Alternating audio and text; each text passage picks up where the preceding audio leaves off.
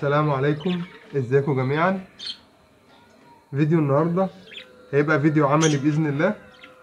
هنشتغل الروتين اليومي أو الروتين الأسبوعي للطيور وإزاي إن إحنا بنبدأ ننظف الأدراج نبدأ نشتغل مع الطيور آه، كمان ننظف المسائي ننظف كل حاجة داخل المزرعة.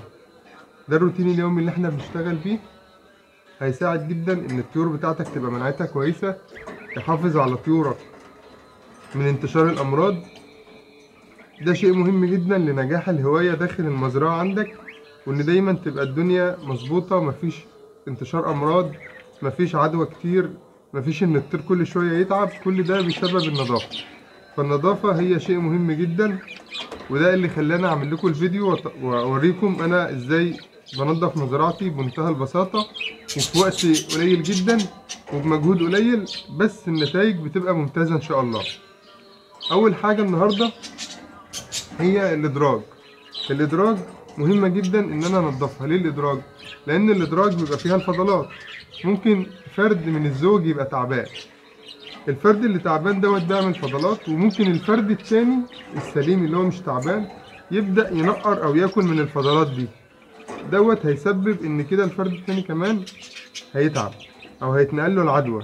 نتيجة إن هو طبعا ال- ال- الفضلات اللي هو بينقر فيها أو بياكل منها بيبقى فيها العدوى بتاعة الفرد المريض.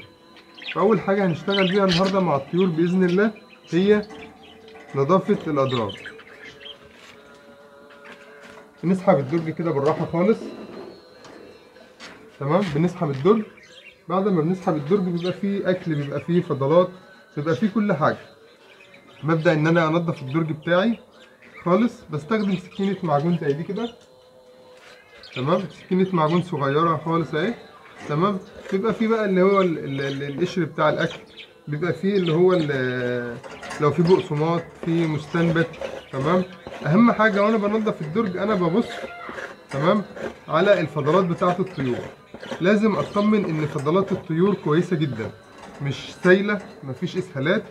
تمام؟ مجرد ما أنا بس إيه أفضي الدرج كده خلاص الدرج نضف كده يبقى أنا أطمن إن الزوج بتاعي تمام. طب هل أنا بكتفي بكده؟ لا طبعا. أنا لازم انضف الدرج كويس جدا. بعد ما بنضف الدرج كويس جدا وما يبقاش فيه أي فضلات تمام؟ ببدأ كمان إن أنا أطهر الدرج. تمام؟ أطهر الدرج. طبعا إحنا عاملين فيديو عن المطهر اللي إحنا بنستخدمه بصورة دورية عندنا في المزرعة. تمام؟ اللي هو ده. المطهر دوت عبارة عن آه، يود وبرمنجانات بوتاسيوم. تمام؟ وعليه كمان ملح وخل.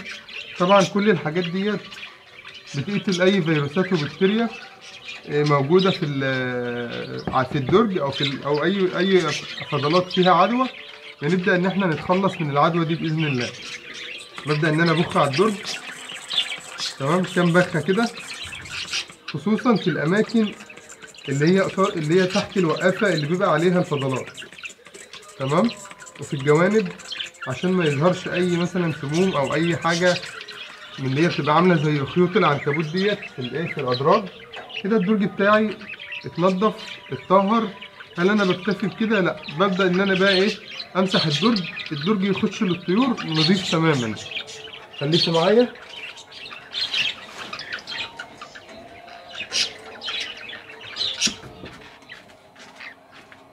أنا بحاول أعمل خطوة بخطوة قدامكم. تمام؟ كده أنا اتأكدت ان المطهر أنا مسحت الدرج كله بالمطهر وكمان مفيش مطهر الطيور هتنقر فيه. تمام؟ الدرج رجع ناشف الدرج رجع جديد. طول ما انت شغال كده في مزرعتك ومحافظ على الادراج بتاعتك بالطريقة دي إن شاء الله مش هتلاقي أي عدوى ومش هتلاقي أي مشكلة داخل المزرعة. أنا في موضوع النظافة ده يعني شديد شوية وما بأثرش مع طيوري لأن أنا عارف إن النظافة والتغذية هما دول أساس الطير. فيديو النظافة أنا عملته لأن حسيت إن أنا من كتر الفيديوهات اللي بتجيلي للطيور بلاقي الدنيا متبهدلة جدا. فكان لازم فعلا إن أنا أعمل لكم فيديو عن روتين يومي داخل المزرعة. اعمله أنت روتين أسبوعي يا سيدي. يعني كل أسبوع نظف المزرعة بالطريقة دي. هو الموضوع ما بياخدش عشر دقايق. تمام؟ بس الفكرة إن أنت تبقى مطمن إن الدنيا نظيفة عند طيور. طبعا أنا وأنا بدخل الدرج لازم أخد بالي إن مفيش آه، صابع أو رجل من من أرجل العصفور ساقطة بين السلك بحيث إن أنا إيه أما أجي أزق الدرج كده ما أقفلش عليها أكسر رجل العصفور. هنسيب الدرج ده للآخر عشان المايك. تمام؟ طبعا أنا عندي المزرعة ضيقة فالحركة فيها صعبة شوية. ببدأ إن أنا أجمع الإدراج كده. تمام؟ ببص على الإدراج. اطمن زي ما قلنا إن الفضلات تمام. في حاجة برضو ناخد بالنا منها في ناس كتير بتسالني عنها. لما بيبقى الزوج معاه بيض أو الأنثى راقدة بلاقي الفضلات حجمها كبير وده شيء طبيعي. لأن طبعا الأنثى بتبقى راقدة داخل البياضة والأنثى راقدة داخل البياضة بتحتفظ بالفضلات فترة كبيرة وبتخرج كل فترة كبيرة تخرج الفضلات. فطبعا لازم إن الفضلات تبقى حجمها كبير. ممكن تلاقي الفضلات كمان فيها نسبة مية. ممكن تلاقي الفضلات بتاعت الأنثى اللي راقدة على بيض أو اللي بتأكل زغاليل ريحتها مش كويسة. طالما الأنثى راقدة على بيض ده شيء طبيعي. طبيعي إن الفضلات لما هتتخزن في جسم الطائر فترة لحد ما الطائر يعمل إخراج إن الفضلات ديت قوامها هيبدأ يتغير ملمسها وريحتها هتبدأ تتغير. ممكن تبقى سايلة شوية كل ده شيء طبيعي جدا. خلال فترة الرقاد وفترة تحضير الزغاليل إن شاء الله. لأن الموضوع ده بيسأل عليه كتير جدا. ليه الأنثى فضلاتها كده؟ ليه ال- الزوج فضلاته ريحته وحشة؟ كل ده بيبقى بسبب إن الزوج شغال وبيأكل وبيخرج بيخرج الإخراج كل فترة كبيرة. لأن هو طبعا مع الزغاليل باستمرار. داخل العش. تمام؟ الدرج اللي عندي بقاله خمس سنين زي الدرج اللي عندي بقاله شهرين. كل الادراج سليمة كل الادراج نظيفة. محافظ على المستلزمات بتاعة الطيور. ببدأ إن أنا انضفها باستمرار. حماية للطيور. تمام؟ ورافع مناعة كويس جدا. أنت طول ما أنت عندك الدنيا نظيفة خلاص. الطيور هتبقى مناعتها كويسه أو لو جينا نبص يا جماعة هنلاقي في فضلات اهي كبيرة. فضلات كبيرة وسايلة شوية. ده عشان الأزواج الرينبو ما شاء الله. حطت بيض وخلاص اشتغلت. فلازم الفضلات بتاعة الأنثى تبدأ تكبر. كده إحنا عملنا درجين ثلاثة مع بعض. طبعا أنا ببدأ برضو في الآخر انضف الأرض وأكنس ال- كل ال- اللي أنا نزلته من الادراج دوت وألمه. والأرض بتبقى نظيفة جدا ومتطهرة زيها زي المزرعة زي ال- ال- السلكات بالظبط. يعني المزرعة نفسها أنا ب- كل فترة ب- برش على الجدران وأمسحها كويس برضو بفوطه برش عليها مطهر برش على الأرض مطهر وامسح الأرض بتلاقي المزرعة على طول نظيفة. المزرعه عموما تخش المزرعة تلاقي المزرعة نظيفة سواء أرضيات سواء حيطان سواء سلكات. أنت بتمنع أي فرصة لانتشار الأمراض أو انتشار ال- البكتيريا والفيروسات داخل المزرعة. كده إن شاء الله نسبة 90% من الأمراض بإذن الله أنت بعدت عنها. مزرعتك مقفولة أنت حاجتك داخل المزرعة نظيفة الدنيا تمام.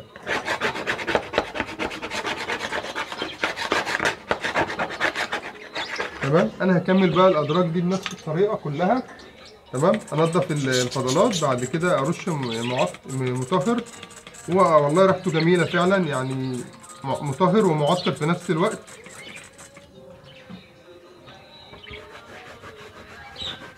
تمام؟ أنا بمسح الدرج عشان أطمن إن المطهر وصل لكل أجزاء الدرج. تمام؟ الدرج طبعا من تحت شايفين الدرج عامل إزاي؟ كأن الدرج جديد نوفي كمان أنا مش بكتفي بكده.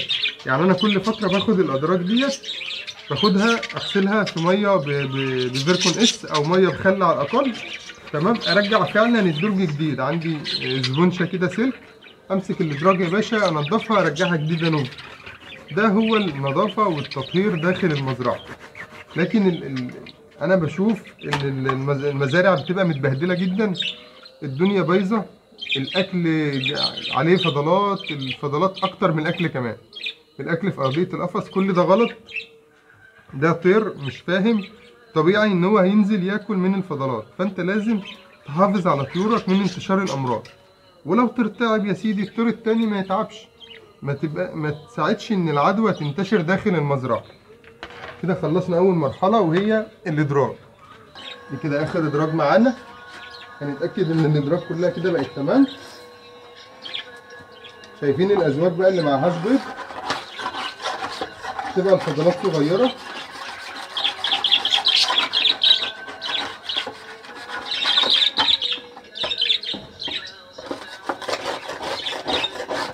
موضوع الفضلات دوت هو اللي هيخليك تقدر تعرف لو عندك طير تعبان من أول يوم من قبل حتى ما الطير يبدأ يكش منك أو الطير الطير يبدأ ينفش ريشه وتحس إن هو تعبان لا أنت من الفضلات هتعرف الطير عندك تعبان ولا لأ.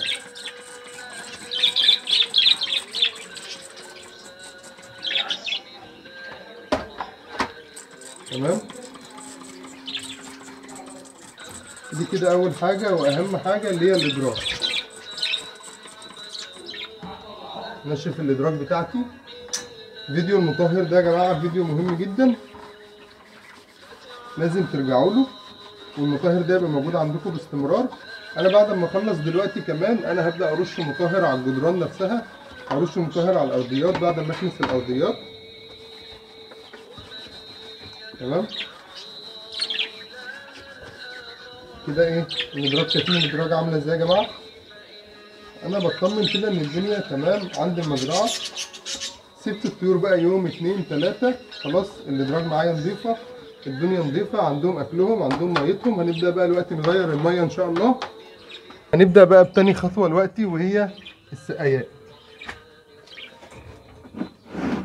نلم بقى الفضلات دي كلها في جنب. لحد ما نبقى نلمها إن شاء الله في الآخر. تاني حاجة معايا هي السقايات أنا شغال قدامكم خطوة بخطوة بمنتهى التفصيل. أنا حاطط المايك بعيد عني عشان أقدر أتحرك. السقايات أنا بعمل فيها إيه؟ هل أنا بكب مية وأحط مية وخلاص؟ لا طبعا. إحنا قلنا إن أول حاجة لازم السلكات نفسها تبقى مترقمة السقايات لو بصينا على السقايات السقايات مترقمة واخدة ألوان. يعني السقاية اهي الجزئين بتوع السقاية. مترقمين. الجزئين بتوع الس- السقاية مترقمين واخدين نفس الرقم والسقاية مثلا بتاعت المطار واخدة اللون الأخضر. السقاية بتاعت السلكات الجديدة واخدة اللون الأزرق. تمام؟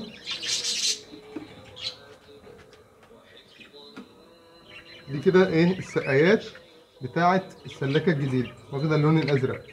السقايات بتاعت السلاكة القديمة واخدة اللون الأورنج وبرضه مترقمة. يعني كل سقاية بتركب في العين اللي مترقمة العين بتاعتها السقاية ما بتتغيرش من عند الطيور. هي بي- بيركب لهم نفس السقاية بتاعتها. أنا عندي هنا فرشتين أهو. تمام؟ فرشتين. أي فرشتين أسنان جداد هتجيبهم دول يبقوا للطيور. فرشتين أسنان جداد تمام؟ هتجيبهم هيبقوا للطيور. الفرشتين دول إيه وظيفتهم؟ واحدة بنضف بيها السقايات وواحدة بنضف بيها الطواجن. واحدة بنضف بيها السقايات والتانية بنضف بيها الطواجن من جوه وأنا بغسل الطواجن عشان أعرف أوصل لكل المناطق داخل ال- السقايات والطواجن. تمام؟ يعني دي دي فرشة الطواجن وفرشة للسقايات. تمام؟ هنبدأ إن إحنا ننضف السقايات الأول. وهقول لكم أنا بعمل إيه كمان. طبعا لازم المية بتاعتك تبقى من الفلتر. أنا أي مية بستخدمها لطيوري بستخدم المية من الفلتر. تمام؟ ليه بستخدم المية من الفلتر؟ لأن طبعا المية اللي إحنا بنشربها مش مظبوطة وبيبقى فيها مشاكل كتير. يعني أنت هت... من لما تركب الفلتر وتشوف الفلتر بيعمل إيه هتعرف إن أنت أصلا لازم تشرب من الفلتر. المية بيبقى فيها صدى بيبقى فيها رواسب بتبقى ريحتها متغيرة. ممكن المية اللي توصل لنا ما تبقاش مظبوطة. فأنت لازم تشرب العصافير من الفلتر لأن ده عصافير حديثة مناعتها مش زي العصافير اللي في الطبيعة. إحنا نفسنا مناعتنا وصحتنا مش زي أجدادنا أيام زمان. فإحنا نحافظ على نفسنا بإننا أقل حاجة لازم نشرب المية من الفلتر. طبعا المية من الفلتر كمان أنا كده بقلل الكلور اللي محطوط على المية. الكلور اللي محطوط على المية ده هيبوظ لك أي دواء أنت بتحطه. هيفسد لك مفعول أي دواء أنت بتقدمه للطيور سواء فيتاسيد سواء هيدروسيف سواء آه، مضادات حيوية سواء آه، روافع مناعة كالسيوم فيتامين. لازم أنت تستخدم على طول مية من الفلتر وتبقى عادة بالنسبة لك. حتى أنا بعمل كده مع الحمام. تمام أوريكم الإزازة اللي أنا بستخدمها دلوقتي. بخش أملاها من الفلتر وأشتغل بيها. تمام أنا غسلت السقايات لو لاحظتم غسلت السقاية من جوه الأول. تمام؟ كويس جدا. ما تبقاش مريمه شايفين السقاية عاملة إزاي؟ يعني أنا غسلتها أصلا السقاية ميتها نظيفة. السقاية ميتها نظيفة. ليه؟ لأن أنا بنضف على طول. السقاية من فوق مفيش فيها أي رواسب. الحتة اللي فوق دي الحتة اللي فوق دي ما بيبقى فيها سواد والكلام ده. أنا بشوف السقايات منظرها صعب جدا عند الناس. تمام؟ تالت جزء معايا اللي هو الجزء اللي القاعده بتاعت السقاية. برضو هي نظيفة هي من قبل ما أغسلها. بس أنا برضو خلاص اتعودت. اتعودت إن أنا لازم أغسل السقاية كل مرة. مش عارف هي باينه ولا لا. بالفرشه كده بمسك السقاية أغسل كل حاجة في السقاية. كده أنا بمنع إن أي آه، ريم أي آه، ترسبات أي حاجة تبقى موجودة داخل السقاية. تمام؟ السقاية من يوم ما اشتريتها لحد ما هرميها هي نظيفة زي ما هي. السقاية نظيفة تماما. تمام؟ النظافة والله يا جماعة مهمة جدا عند الطيور. دي ازازه المية. اهي تمام؟ دي ازازة مية. أنا آه، مليها من الفلتر مية عادية خالص. حبيت أحط أضيف عليها. هي دي 2 لتر. أنا مالي لتر يعني أنا مش هحتاج أكتر من لتر. حبيت بقى أضيف على اللتر دوت آه، فيتاسيد. أضيف عليها هيدروسيف. والله مفيش مشكلة نحط لهم برضو قرص فيتاسيد. ده الفيتاسيد أهو الهيدروسيف. ده الهيدروسيف وده الفيتاسيد. تمام؟ أنا هحط لهم إيه؟ قرص فيتاسيد. طبعا قرص الفيتاسيد بيتحط على لتر مية رافع مناعة وأنا كمان جايب الفيتاسيد فيتاسيد كالسيوم. يعني هو فيه فيتاسيد وفيه كالسيوم. نقفل بس المزرعة كده. يعني أنا بقفل حتى باب المزرعة عشان مفيش دبان يخش مفيش حشرات تخش. مفيش أي حاجة تبقى موجودة في المزرعة غير أنا والعصافير بس. لازم تحافظ على نظافة كل حاجة في المزرعة. تمام؟ حتى السلك ده أهو أنا بنضفه يعني كل فترة أنا بجيب المقشة وبنضف السلك وبنضف الخشب وببدأ إن أنا أرشه كمان بمطهر لازم الدنيا تبقى عندك نظيفة. بتحمي نفسك بتحمي أولادك بتحمي جيرانك. بتبقى عندك الدنيا برضو ما ده جزء من الشقة وجزء من البلكونة تبقى الدنيا نظيفة باستمرار. تمام؟ الفيتاسيد اهو الفيتاسيد كالسيوم نبدأ نحط قرص على اللتر أنا بقسمه بس كده عشان إيه؟ يخش من الإزازة ويدوب بسرعة. تمام؟ هبدأ بقى اغسل بقية السقايات دلوقتي. وبعد كده أحط المية في الايه في السقايات. نغسل السقايات كلها بنفس الطريقة. تمام؟ دي أول سقايه اتغسلت معايا أهي. تمام؟ هبدا إن أنا إيه؟ أغسل السقايات كلها. نشتغل بسرعة بقى.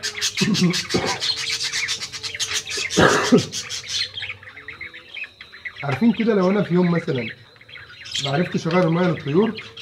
مش مشكلة. أنا مطمن إن المية نضيفة عند الطيور. مطمن إن المية باستمرار نضيفة. والله يا جماعة أهم ثلاث حاجات عندي في المزرعة. التغذية النظافة القرآن. القرآن لازم يبقى شغال عند الطيور باستمرار. في بقى حد عدى صوت عالي حد بيبيع حاجة في الشارع الكلام ده كله العصافير يا باشا هنا في عالم لوحدها تمام؟ هما ما لهمش أي علاقة بالعالم الخارجي مش مش حاسين بأي اختلاف أو أصوات لأن هم متعودين إن في صوت جنبهم صوت كلام ربنا أحسن كلام في الدنيا. وحاجة فعلا بتخلي فيه بركة في المكان. يعني القرآن ده عن تجربة وخلال المواسم اللي فاتت والله العظيم القرآن بركة كبيرة جدا في المكان وبركة كمان لينا ولأولادنا وبيخلينا على طول فاكرين ربنا وبنتدبر كل حاجة بتحصل حوالينا. فأنا يعني موبايل قديم كده شغاله على القرآن وسيبه عند الطيور. طبعا أنا كده كده عندي كهرباء وعندي الفيشة. الفيشة ديت بقدر إن أنا إيه أوصل الشاحن أشحن التليفون إيه أضيف إضاءة أضيف اللي أنا عايزه بقى. تمام؟ المزرعة ده العالم بتاعك يا باشا. اعمل فيه اللي انت عايزه. خلاص هنكمل السقايات كلها. وبعد كده طبعا أنتوا عارفين ان أنا بضيف يوم حبوب وبضيف يوم إيه؟ يوم طريقة ومستنى. شايفين الدوشة اللي في الشارع الدوشة واضحة جدا. يا رب يكون صوت المايك لقط صوتي. أنا بضيف يوم حبوب ويوم طريقة ومستنى. تمام؟ النهارده هبدأ أضيف مستندك أنا كنت حاطط طري أول امبارح امبارح حطيت حبوب. النهارده هحط إيه؟ مستندك. خليكم كده مركزين معايا. أول امبارح كنت حاطط طري بالإضافات بيض بيض مسلوق بالإضافات. تمام؟ النهارده امبارح حطيت حبوب. خلطة حبوب. النهارده هضيف إن شاء الله مستندك. تمام؟ هنعمل برضو المستندك معاكم. الفيديو هيطول مننا بس أنا عايز أوريكم كل حاجة على الطبيعة. اللي بيحب الطيور مش هيزهق مني. وأنا ب target يعني أنا ب target هاوي مش ب target آه، حد كده وخلاص عايز معلومة. لا أنا هدفي إن اللي يتابعني فعلا يبقى هاوي بيحب الطيور. ويعرف كل حاجة أنا بعملها مع الطيور عشان فعلا يقدر يفيد طيوره ويساعد طيوره. الهاوي ممكن يبقى عنده جوز وممكن يبقى عنده مية. مفيش مشكلة خالص. المهم إن أنت تشتغل صح مع الطيور. أنا كده أهو. يعتبر بقالي سقاية واحدة. تمام؟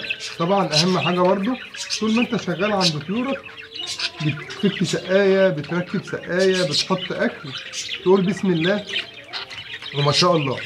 تمام؟ يعني هو القرآن نفسه بيقول لنا ولولا إذ دخلت جنتك قلت ما شاء الله. هتشتغل معانا دلوقتي في سورة البقرة فأنت لازم طول ما أنت شغال عند طيورك تقول ما شاء الله. ربنا قال لنا نقول ما شاء الله على طيورنا عشان ربنا يكرمنا في طيورنا بإذن الله. فكلمة ما شاء الله كلمة آه، ربنا يبارك. كل الكلام دوت والله العظيم بيفرق جدا مع طيورك. ممكن إحنا نحسب حاجتنا ممكن إحنا نحسب حاجتنا. لو مش هتحسب حاجتك كلمة بسم الله هتملى طيورك بركة وهتملى إنتاجك بركة وهتحميك من مشاكل وأمراض كتير. يعني أنا أنا عارف إن الناس بتبقى داخلة مستعجلة عند طيورها مفيش حد بيعمل اللي أنا بعمله ده. يقعد يغسل كده في السقايات يقعد ينظف كده في الإدراج. وده أنا شفته بعيني في الفيديوهات اللي بتجيلي بلاقي الدنيا ملخبطة خالص. لا لازم نراعي ربنا في الطيور ونعمل الصح مع الطيور باستمرار. تمام؟ ده آخر سقاية أهو. كده ليه ده الفيتاسيد ده معانا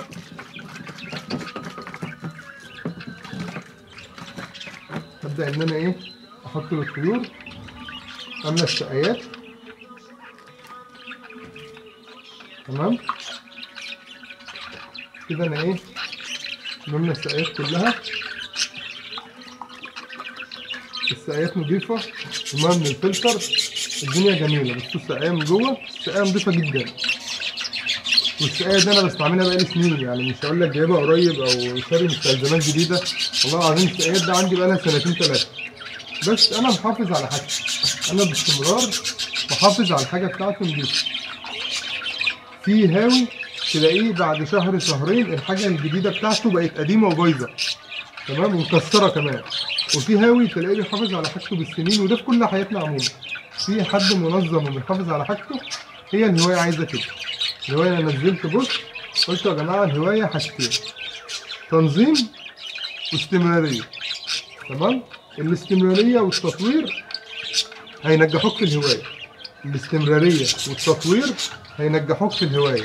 التنظيم هيخليك متفوق في الهواية. والله العظيم صدقني وفي حياتك كلها. التنظيم هو سبب التفوق. التنظيم في كل شيء. التنظيم في, في مع طيورك. التنظيم في حياتك. إدارة الوقت. تبقى أنت عارف إن في وقت معين من يومك مثلا لطيورك إدارة الوقت تبقى عارف إيه التاسكات والمهام اللي عندك اللي أنت هتوزعها وإيه منها عاجل وإيه منها غير عاجل وإيه منها مهم وإيه منها غير مهم وإيه اللي أنت محتاج تعمله حالا. وما ينفعش يتأخر مثلا زي أكل والشرب بتاع الطيور زي النظافة عند الطيور. إيه عاجل في شغلك إيه مهم؟ لازم تبقى عندك ثقافة لإدارة الوقت تبقى عندك قدرة على إنك تنظم حياتك عموما ما يبقاش في وقت مهدور في حياتك. حتى الوقت المهدور تقدر تستفيد بيه تقدر تستفيد بيه لأن الوقت والصحة الحاجتين اللي مش هنعوضها تاني. الحاجتين اللي عمرك ما هتعرف تعوضهم في حياتك هو الوقت والصحة. الوقت والصحة دول بالنسبة لك الحاجة الوحيدة اللي لما بتروح اليوم اللي بيعدي مش هيرجع تاني. صحتنا اللي بتروح عمرنا ما هنعرف نرجعها تاني. أي حاجة تانية تتعوض أي حاجة تانية تتعوض غير وقتك وصحتك. فأنت لازم تبقى عارف إزاي تستثمر وقتك وإزاي تستثمر صحتك لأنك هتتحاسب عنها. هتتحاسب عن عمرك فيما قضيته وعن صحتك فيما افنيتها يعني أنت عملت إيه بصحتك وعملت إيه بوقتك؟ هل أنت فدت نفسك وفدت غيرك وفدت أمتك ولا لأ؟ اعذروني إن أنا إيه يعني بعدت شوية عن موضوعنا كده إحنا خلصنا الإيه؟ السقايات. هبدأ بقى إن أنا بعد إيه؟ دي بلاستيكية صغيرة أهي بنضف فيها السقايات وببدأ إن أنا أحط المية الجديدة. تمام؟ كده السقايات جاهزة معايا. برضو السقايات هترجع بألوانها بأرقامها.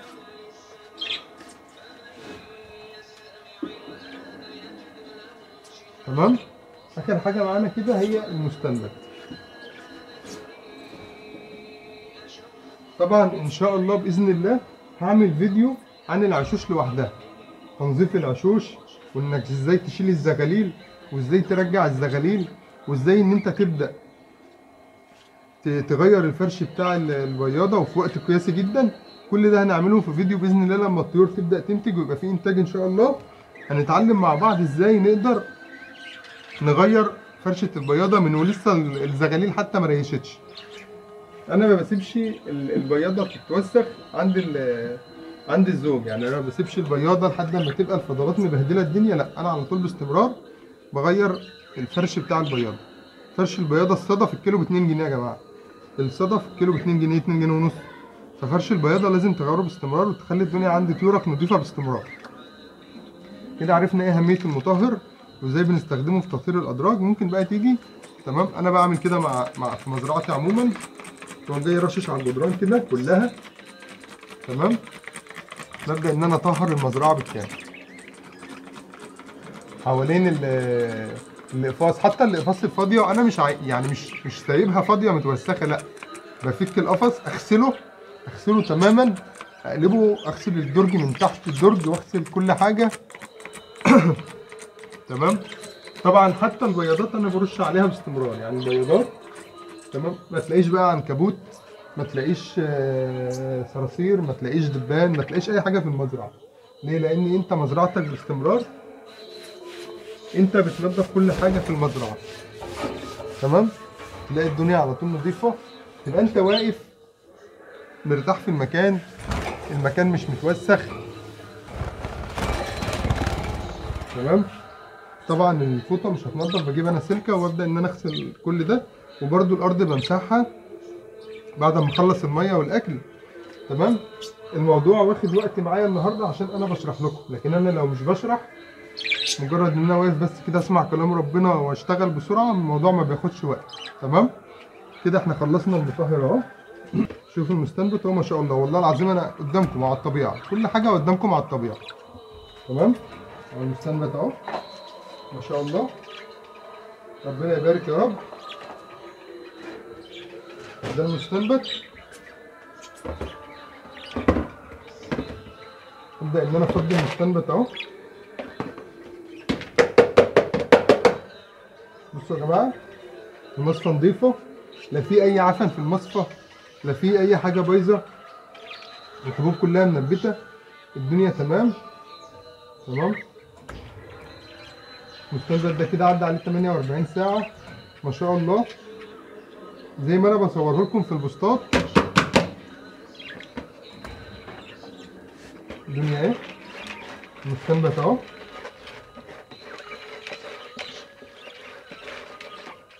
ده المستنبت اهو يا جماعة. اهو المستنبت اهو يا رب يكون واضح معاكم. ده المستنبت اهو. الله أكبر الله أكبر العزة والدوام الله تمام؟ ده يا جماعة المستنبت اهو ما شاء الله. أنا مش هحط عليه حتى إضافات. يعني أنا مش محتاج أحط إضافات. ممكن أحط ليمون عليه عصرة ليمون.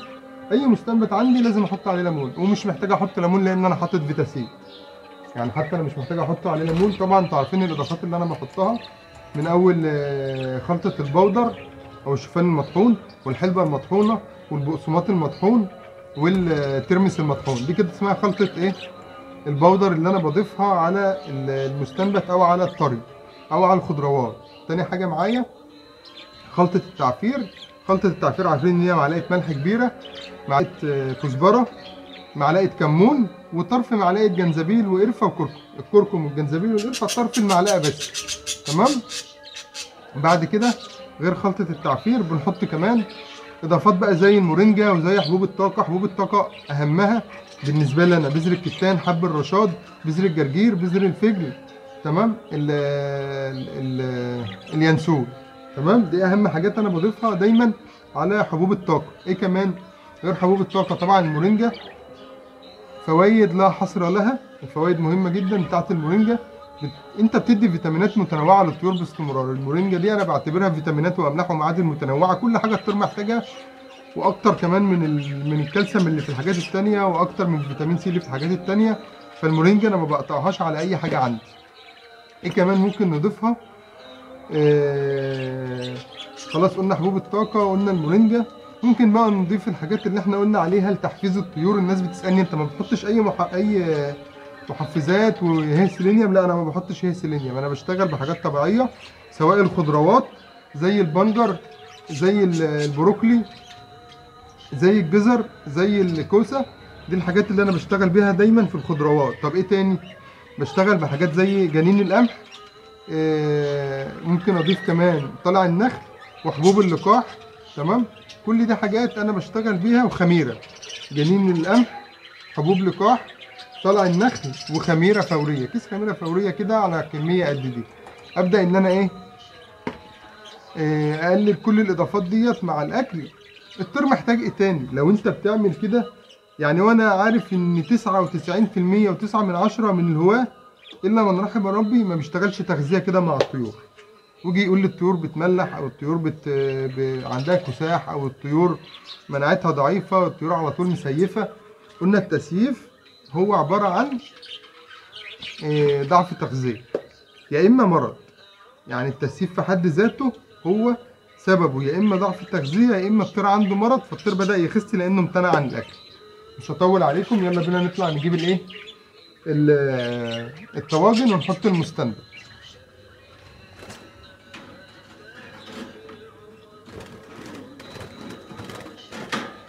حد كده شاطر يقول لي أنت ما حطيتش المية أنت لسه ما ركبتش السقايات. لا مش هركبها.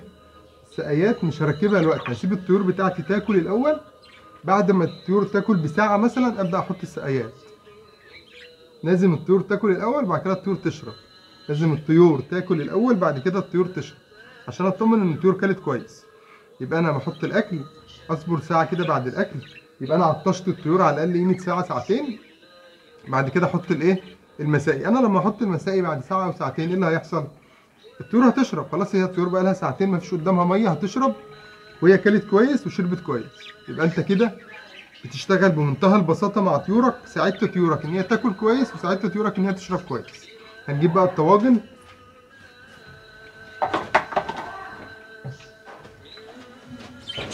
علبة ثالثه اهي العلبة الثالثه دي نعمل فيها إيه؟ الشاطر بقى يقول لي هنعمل في العلبة الثالثه دي إيه؟ هنفضي بواقي الأكل اللي موجودة في الطواجن. هنفضي بواقي الأكل اللي موجودة في الطواجن. نمسح بس السكينة بتاعتنا كده.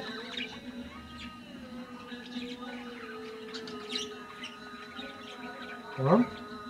نبدأ إن إحنا نفضي بواقي الأكل.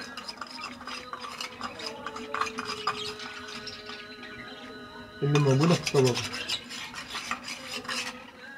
تمام. الطاجن يبقى نضيف تماما. الطاجن نضيف تماما. تمام.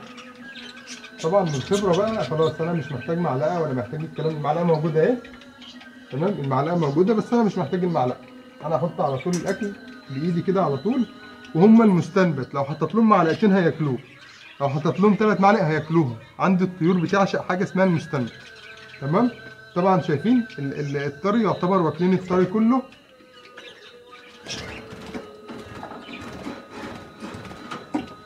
هجيب بقى بقية الطواجن. خليكم معايا. دي الطواجن أهي. تمام شايفين؟ مفيش حاجة في الطواجن والطواجن نضيفة. طواجن نضيفة. طيب أنا كل فترة بقوم جاي جايب الفرشة التانية. تمام؟ الفرشة التانية. شوية مية. علبة زي ما أنا بغسل كده السقايات وأقوم جاي غاسل الطواجن كلها. أقوم جاي كل أسبوع مثلا مسك الطواجن كلها غسلها بس الطواجن نظيفه زي ما أنتم شايفين. الطواجن نظيفه فإحنا إيه؟ هنحط الأكل كده على السريع. طبعا أنا بقدم الطيور ال- ال- الأكل للطيور مرة واحدة يوميا. أنا بقدم الأكل للطيور مرة واحدة يوميا. تمام؟ والطيور شغالة يعني الطيور شغالة بس لسه الطيور ما فيش عندها زغاليل أو إنتاج. تمام؟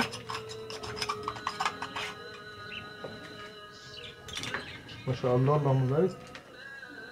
ربنا يبارك في طيورنا وطيوركم يا رب. أنا عامل الفيديو بكل التفاصيل اللي أنا بعملها خلال يومي اللي هقدر اسرعه في الفيديو هسرعه بإذن الله. يعني أنا الحاجة اللي أقدر أعديها في الفيديو بحيث برضه إن إحنا ما نطولش وقت الفيديو. هبدأ إن أنا أسرعها بإذن الله. بس فعلا لازم تشتغل كده مع طيور. لازم تشتغل كده مع طيور. ما شاء الله. تمام؟ ممكن بقية المستنبت ده أنا احطه في المصفى واسيبه بكره عادي. ما عنديش اي مشكلة. اخد بقية المستنبت احطه في ال احطه في المصفى تاني ارجعه في المصفى ويتغسل غسلة سريعة كده ويتحط برده عليه فوطه مبلوله لحد بكرة أو بعد بكرة لحد ما يجي وقته. تمام؟ عايز تح- تحفظ المستنبت اللي باقي ده في كيسة في الثلاجه مفيش مشكلة. ممكن المستنبت ده تفضيه في كيسة نظيفة وتقوم جاي حاطه في الثلاجه لحد ما تحتاج تستخدمه. بس أنا بستخدم المستنبت أول بأول بس يعني الطيور ما عادتش كتير زي الأول فمش بحتاج إيه كميات كبيرة زي الأول.